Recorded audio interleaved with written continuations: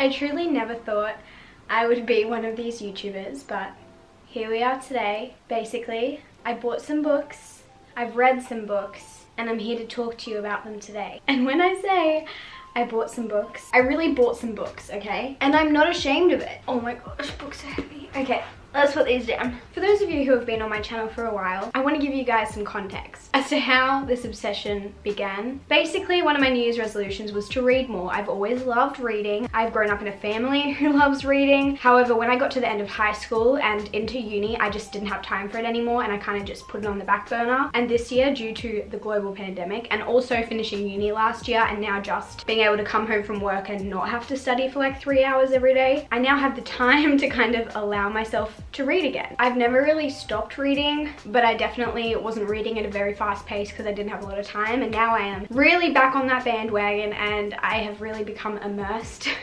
in reading again. And not only that, I also blame booktube. I have discovered the part of the internet that is literally dedicated to people talking about books and I am thoroughly enjoying it. My favorite YouTubers so far, I've mentioned this before, are, or booktubers, whatever they're called. Guys, I'm still a newbie. I'm still a rookie. Please don't, please don't give me hate. A Noelle Gallagher, I think that's how you pronounce her name, and also Kat from Paperback Dreams, which some of you guys recommended me to watch her, but I'd already started watching her. Already a fan, really enjoying her stuff as well. I think I also follow a few others here and there, but those are my two favorites. If you guys have any more recommendations, let me know. Would love to check them out. But yeah, I've started talking about books a lot more in my vlogs and some of you suggested that maybe I should do a dedicated book video for those of you who want to see it. I don't think it's very many of you but if you want to see more of these in the future let me know maybe like once every three months or so I could do a video like this I don't know but today I'm just going to show you the books that I've either read really recently I am currently reading or ones that I have bought in anticipation to read also I do have a Goodreads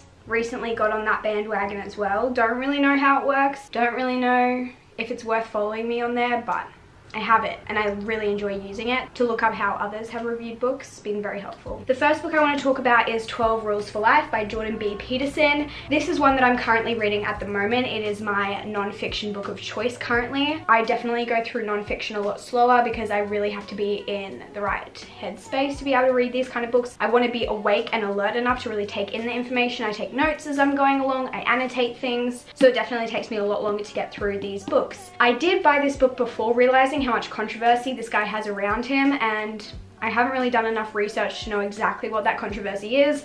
All that I know is a lot of people hate him, a lot of people love him. I'm just gonna read his book and see. He's a psychologist, so I really, really like it. I don't know if I'm very good at describing books, but I would say this is kind of mini essays in each chapter about why you should behave a certain way and what kind of benefits you can gain from that. And I'm thoroughly enjoying it so far. Haven't finished this, but really like it. The next book I finished recently was The Girl on the Train. I know this is a movie. I know a lot of people have seen the movie. A lot of people rave about it. I'm going to try to get through these pretty quick because I've got a lot to show you, but we'll see how we go. I would say this was like a four out of five for me. I really, really, really liked it. Haven't seen the movie and I don't know if I would have enjoyed it as much if I had seen the movie. So if you haven't seen it and would like to read it, would definitely recommend. I'd love to check out more of Paula Hawkins' books because I really like the way she writes. I didn't love the characters necessarily. They didn't give me a lot to love about them, but the story was very intriguing. So really liked that. The next book that I actually finished like two days ago is Unfiltered by Lily Collins. I was gifted this book a couple of years back by a really good friend of mine who has really good book recommendations, but sadly I did not enjoy this one. I feel like I would have loved it in high school, to be completely honest. I think a lot of the issues that she went through in her younger years and things that she kind of targeted in this book are things that I would have really valued and really appreciated when I was in high school around grade 10, but I've kind of just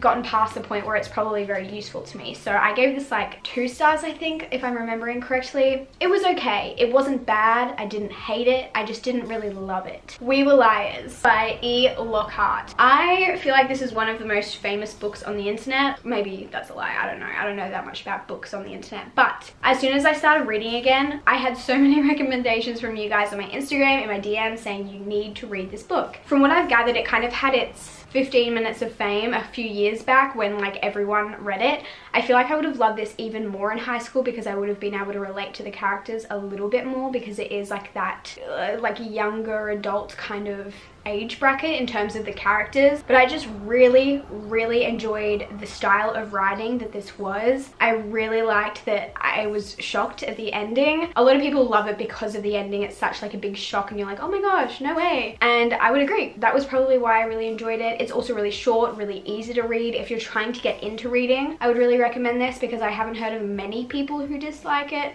although there are some. But I think there are people who dislike every book, so I really liked it. I would give it like a 4 out of 5 as well. I read this in like two days. It was a really quick read, a really easy read, and yeah, it has some good shock factor right at the end. Guys, I started my Hoover journey. Colleen Hoover is a romance author. I don't know if she writes other things to be honest. I know that she's famous for her romance novels. I actually first heard about her from M. Carey, if you guys know M. Carey. She raves about Colleen Hoover I think she's probably read all of her books. I'm not really sure. It seems like she has a lot of books. I picked November 9 as my first Colleen Hoover book because the story sounded really interesting to me and it was one of the ones online that wasn't sold out because I ordered a few books from bookdepository.com. I think I ordered these two and another Colleen Hoover book which I'll talk about in a second. They took a long time to get here but a lot of her books were, whoops, a lot of her books were out of stock, which I guess is a good sign. But I had a lot of fun reading this. It was my first romance book in a really long time, and it was just a lot of fun. I read this straight after finishing The Girl on the Train, which is like a mystery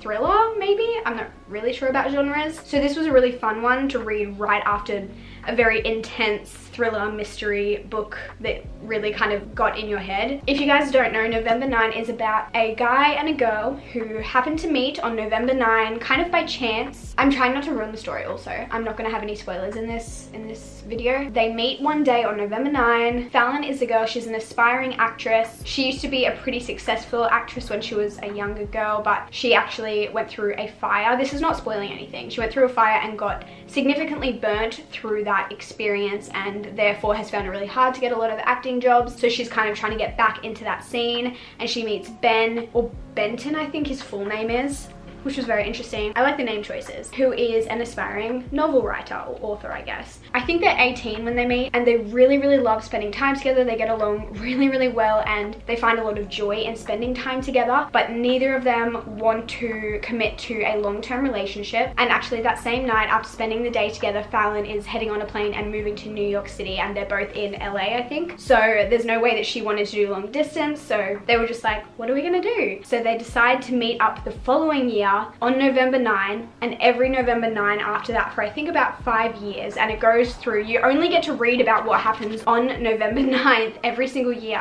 and you just get to see how their lives change and how their relationship changes through the years and it's a really cool story and a lot of stuff happens. I will say it is so unrealistic because either things are like too perfect and I'm just like, I would be reading and be like, this just wouldn't happen. Or there were so many things that went wrong that you were just like, surely they're not this unlucky, you know? But it was a really fun read and I definitely want to read more of Hoover's books, especially as just some fun, light reads. Continuing with another of Hoover's books, we are actually now moving into the books that I haven't yet read. So all of those ones I have read or started reading and moving into the ones that I haven't yet read. This one is called It Ends With Us. I don't really much about it. I don't really know what it's about. I think I've heard that this is one of her more famous novels, so I'm excited to read it. I'm assuming it's a romance novel of some type. We'll see how it goes. I'm leaving this until after I've read a few more like intense books and need a bit of a break from those. But yeah, I'm excited to read this. Moving on, all of the rest of these books are from either op shops or secondhand bookstores. And I would definitely say that that is the way to go if you want to buy books and you have the time to be able to look through op shops and secondhand bookstores because I got some really good deals. The other ones that I got from Book Depository, I think I got three for about 55 $5 so I think they were between 15 to $20 each. The Girl on the Train I got for a dollar at a Salvo store. The rest of these were a lot cheaper because I got them secondhand. Um, the ones that I found at op shops were like between one and $3 which is incredible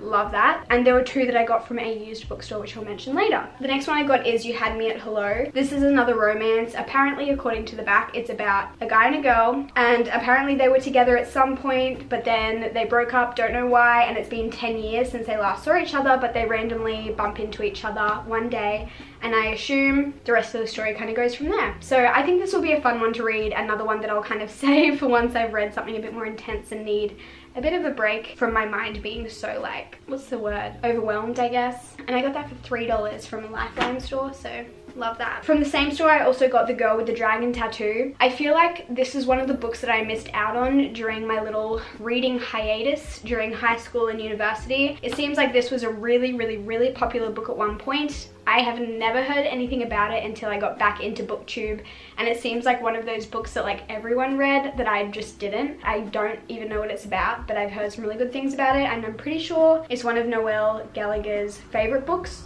so it must be good. I also picked up The Last Anniversary by Le Liane Mor Moriarty. I don't really know how to say any author's names, I apologize. I have read two books from this author already. I read Big Little Lies and Nine Perfect Strangers. So when I saw this in an op shop for like $2, I was like, I'll get it. I enjoyed her other books that I've read. I wouldn't say they're my favorite, but I enjoyed them enough to pick this one up. Would I purchase it brand new? Maybe not. I don't think I'll love it, but I know that I'll enjoy it. And her books are always quite intriguing. So I don't really know what this one is about. Apparently about a girl who inherits a house and apparently everyone knows something that she doesn't about this house. I don't really know much else, so we'll see. And then later at a different op shop, I found this one for a dollar, which is the same author and it's called The Husband's Secret. And this is actually the one that I'm currently reading now. On the back it just says, Cecilia, devoted mother and successful Tupperware consultant, has found a letter from her husband. And apparently it says on the letter, only to be opened in the event of my death. I haven't read very far into it. I've literally just started it. So she's kind of debating whether or not she should open the letter. I'm assuming she will and I'm assuming she finds out something that maybe she doesn't want to know or maybe makes her more confused. A lot of people say that Liane Moriarty kind of takes really normal suburban people and normal situations, people who just don't seem that interesting and creates a really interesting story around them, which is definitely the case in the other books that I've read from her.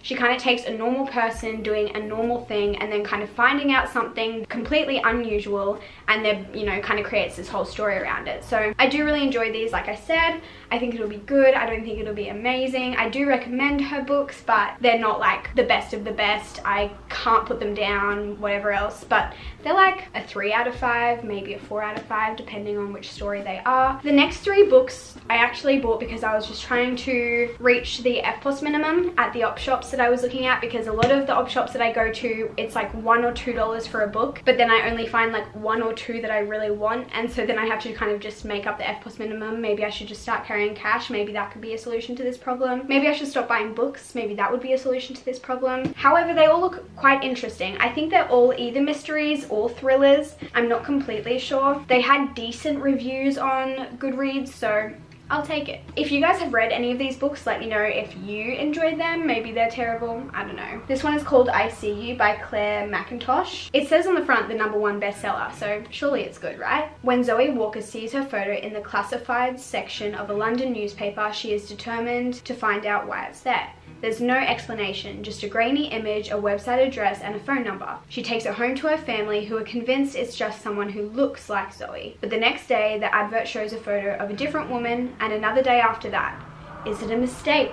Is it a coincidence? Or is someone keeping track of every move they make? It honestly just sounded really interesting. Oh, so this is a psychological thriller, it says on the back. I don't know, it just intrigued me, so I got it. This one, I'm a bit skeptical about because I'm just a bit like, I don't know. It doesn't sound like something I would typically pick up, but this is called I Came to Say Goodbye, and it's by Caroline Overington. A young woman pushed through the front doors. Staff would later say they thought the woman was a new mother returning to her child, and in a way she was. She walked into the nursery where a baby girl lay sleeping. The infant didn't wake when the woman placed her gently in the shopping bag she had brought with her. There is CCTV footage of what happened next, and most Australians would have seen it either on the internet or on the news. The woman walked out of the car park towards an old Corolla. For a moment, she held the child gently against her breath, and with her eyes closed, she smelled her. She then clipped the infant into the car, got in, and drove off. That is where the footage ends. It isn't where the story ends, however. It's not even where the story starts. So is this like a real story? I don't really know. I don't know anything about it apart from that. And the last one out of that little group that I got is called The Client by John Grisham. And apparently in this one there's a murder. No one really knows what happens except for like an 11 year old boy and they're trying to like find out this information from him but he doesn't want to tell them. And the killer apparently is still in this story somewhere and wants to get rid of the kid basically. Also it seems from what I've gathered. And the last two I actually picked up today. And I picked these ones up from a used bookstore in Brisbane. It's in West End. It's called Bent Books if you want to check it out if you're from that area. And I love that store. I spent like half an hour in there today and I could easily spend hours in there because it is just so amazing to me. It's like an op shop but just like full of beautiful books and I think they're all pretty decent books. If you go there, once you walk in, you can also walk out the back and into a shipping container which is also full of even more books. Definitely recommend checking that out as well. It's just so cool and I think it's just a small business so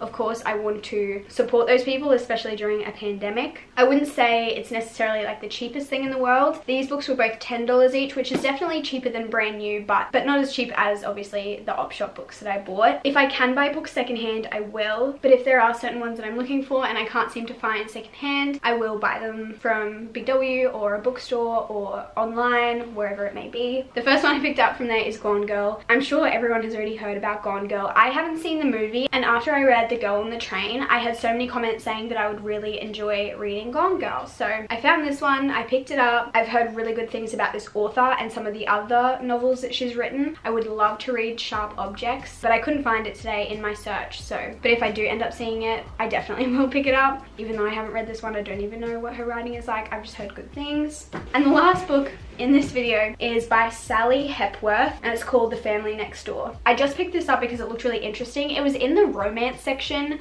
but from the back it doesn't seem like it would be a romance novel. Like that isn't the first thing that comes into my head when I read that blurb, but I guess it is one. When I looked this book up on Goodreads to see if it was worth buying or not, a lot of people love another book by this author, which they also actually did have in the bookstore today, but when I read the back of that one, it just didn't look as interesting to me as this one did, so I picked this one instead, even though it had worse ratings on Goodreads. It just, it just seemed like a better choice for me. But it's basically about a girl who or a lady that lives in a house. New neighbors move in next door and she's curious about them and I'm assuming the story kind of revolves around that. That's all I have to say about that one. So I definitely have a lot of books on my hands now. So if any of my friends want to come over and borrow a book, hit me up, let me know. I'd love to share. I go through books fairly quickly depending on how much time I have. These four which I mentioned at the beginning I've been through in about two weeks so I don't know how long it'll take me to get through all of these. I'm not gonna let myself buy some for a while probably. But yeah I'm excited. If you guys want to see more book videos in the future please let me know. I don't know if anyone's gonna find this interesting but I had a lot of fun talking about these books. I didn't realize how fun it would be to just sit and chat about these sort of things. Again if you guys know of other booktubers that you would really recommend let me know especially Australian ones that could be fun. And if you guys have any book recommendations that I can add to my TBR please let me know. I would love to hear your favorite books so I can add them to my list and